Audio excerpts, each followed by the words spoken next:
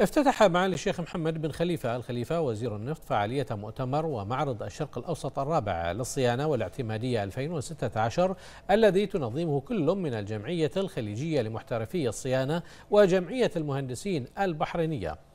تفاصيل أوفى مع الزميلة إيمان شرف.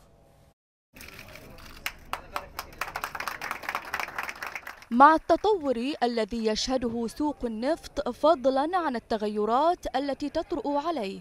هنا تبرز حاجة ماسة في أن تكون هناك أدوات سلامة ذات جودة عالية تتواكب مع هذا التطور المستمر.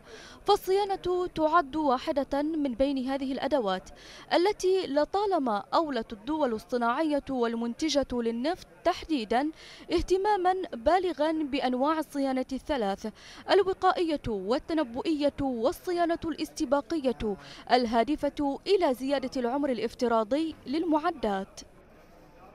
صيانة المعدات في قطاع النفط مهمة جدا لضمان استمرارية العمل إن كان في إنتاج النفط أو كان في التوصيل آه، أو إذا رحنا في التكرير كذلك.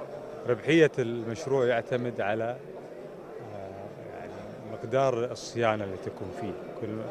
لذلك نجد الآن التركيز كبير جدا في هذا القطاع. في السابق كان قطاع منسي ولكن اليوم أدركت الشركات العالمية والشركات المحلية أو اللي في المنطقة على أهمية آه، يعني موضوع الصيانة والمحافظة على الأصول للمنشآت مؤتمر ومعرض الشرق الأوسط الرابع للصيانة والاعتمادية. يعقد كل عامين ليؤكد على أهمية الصيانة ودورها البارز في تشغيل المصانع والمحافظة عليها من الانهيار وأن منطقة الشرق الأوسط تبقى منطقة رئيسية لتصدير النفط الخام وأن فهم المؤسسات النفطية للمخاطر واتخاذ إجراءات ملموسة في هذا الشأن تسهم في وضع هذه المؤسسات السيارات في موقف نجاح.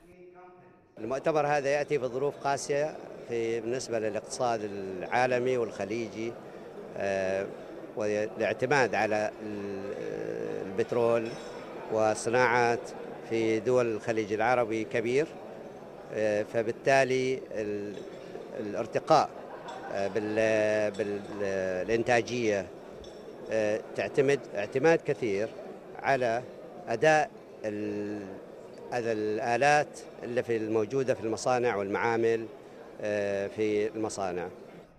استقطب المؤتمر كبريات الشركات النفطية والصناعة العالمية في المعرض المصاحب للمؤتمر الذي ركز على أهمية استخدام تقنيات الصيانة في حقل النفط والغاز والصناعة في منطقة الشرق الأوسط والتعرف على أحدث الاختراعات والتقنيات.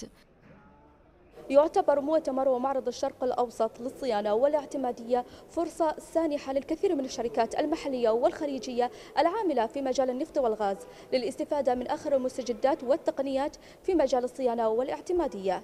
إيمان شرف لمركز الأخبار تلفزيون البحرين.